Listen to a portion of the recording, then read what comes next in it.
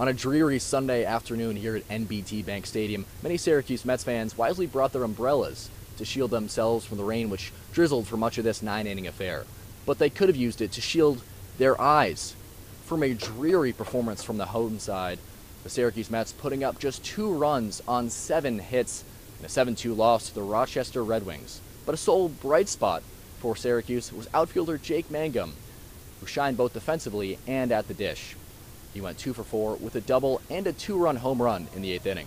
Excited to run into one. The way the bat unfolded, I was happy to foul off a bat like a bad hitter's pitch, and then was able to get something up in the zone and hit it.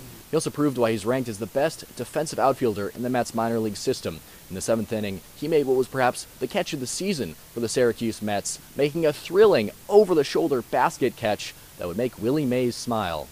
I made that catch harder than it could have looked. Uh, on the play, got a little banana route. If I would have stayed inside the ball a little bit better, I think it would have been, you know, I could have made that a little bit easier. But keep getting better. Happy to make the play, help the pitchers out. So the Mets split the series with the Rochester Red Wings 3 3 and earn a day off on Monday. They'll stay in the Salt City for a six game series against the Buffalo Bisons. First pitch on Tuesday is slated for 6:35.